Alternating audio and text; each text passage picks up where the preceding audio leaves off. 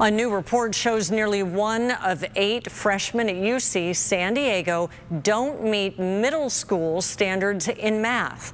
ABC 10 News reporter Jane Kim looks into why so many students are getting to college so unprepared. Inside Laura Twitchell's math class, the atmosphere is calm as high school sophomores and juniors are taking a math test. Calculators ready and pencils scratching away at equations. Students like Jade Tanoy Wiesner say with math, practice makes perfect. Just to say I hated math. I'm starting not to hate it anymore though. I am, I am starting to like it. Twitchell believes without the proper foundation, students may struggle with the basics of higher educational levels. They don't get pattern recognition at the lower levels in elementary school. Um, it's miserable trying to do pre-algebra and algebra, um, you know, where you those things have to kind of jump out at you um, to be able to solve effectively.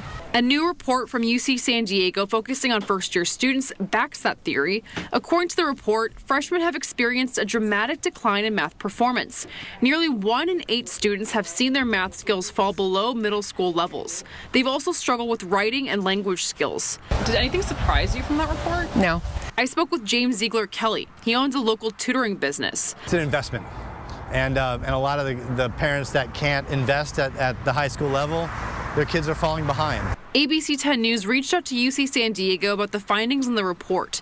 In a statement, the executive vice chancellor said in part, we are a top tier research institution and a public university that serves as a powerful engine of social mobility. Both are and will remain central to UC San Diego's identity as faculty and administrators work to solve this problem.